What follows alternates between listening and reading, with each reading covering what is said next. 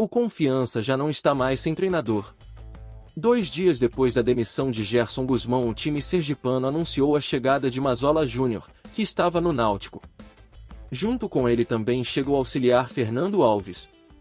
O novo treinador havia sido demitido do time pernambucano no começo da semana passada, depois do empate em casa contra o Caxias.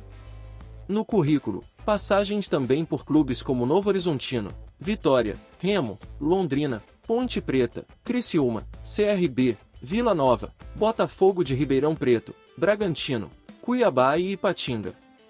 Além disso, ele tem dois acessos para a Série B, com o Paysandu, em 2014, e com o Ituano em 2021, com direito ao título. Outro acesso no currículo foi conquistado pelo esporte, em 2011, no caso para a Série A após uma recuperação histórica.